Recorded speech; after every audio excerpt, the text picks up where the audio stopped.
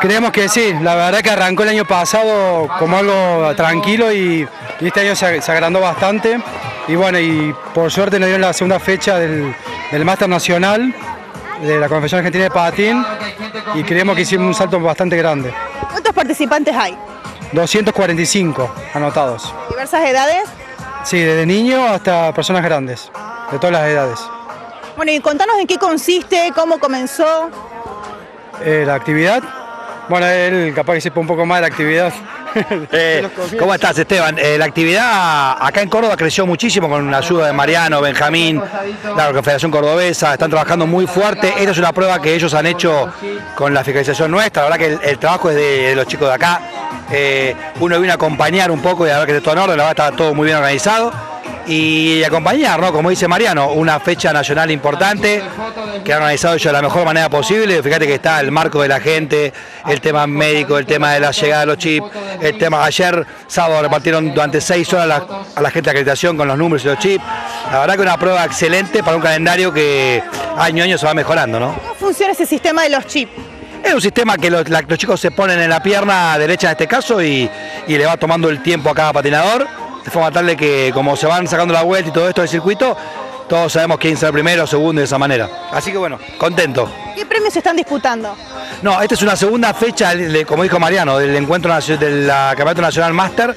Es una categoría máster para gente grande, que no participa de los menores que están en patinódromo y no sé qué cosa, una categoría reservada a patinadores grandes, mayores de 30, este, que están divididos en categoría de 10 años. Y esa segunda fecha nacional fue la primera en Paraná, vinimos acá a la segunda, tercera vamos a La Rioja, la cuarta es en Rosario, ahí termina el año, así que suman puntos. Y acá la organización premia a los, a los primeros de los tres de cada categoría. Bueno, uno de los participantes es usted, Otto, ¿no? Sí, hemos venido de acá de Ballester. Es decir, yo soy de Ballester, del, del club KDT, ¿no es cierto? Estas chicas bulliciosas, tan bonitas que tenemos entre nosotros. Y ¿Cuántos estamos... años tiene? 81 años. ¿Siempre practicó este deporte? Bueno, yo fui primero, este, lo hice por los chicos míos, que ahora ya son grandes. Después eh, soy ahora soy también soy juez nacional, que no lo hago como juez. Y al último termino patinando como, como veterano. Eh, sí. Bueno, vemos que él tiene el apoyo de todo su, su equipo, ¿no? Bueno, muchas gracias por todo. ¿eh? Nos hemos sentido muy cómodos aquí en Córdoba. La verdad que los cordobeses son algo especial. ¿eh? Disfrutando esta competencia, ¿no? Sí, sí, sí. Estamos muy bien, ¿eh? ¿La familia lo acompaña, lo apoya? Sí, está mi esposa que está ahí, me está filmando acá. Sí. Tengo, tengo mi nieta. ¿Cómo le va, señora? Ahí está toda la familia presente. Bueno, siempre apoyándolo, ¿no? Sí, sí. no queda otra.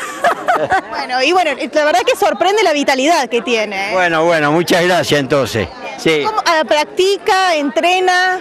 Aclaro que eh, hice desde hace, cuando me iba a jubilar, o sea, ya hace más de 16 años, hice la bajada de Uspallata hasta Mendoza, 110 kilómetros patinando.